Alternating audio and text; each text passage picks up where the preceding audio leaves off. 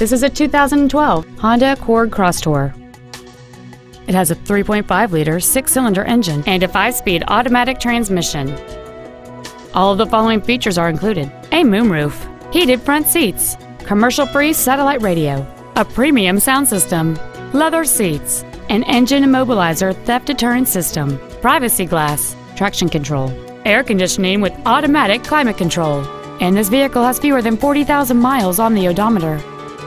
This automobile won't last long at this price. Call and arrange a test drive now.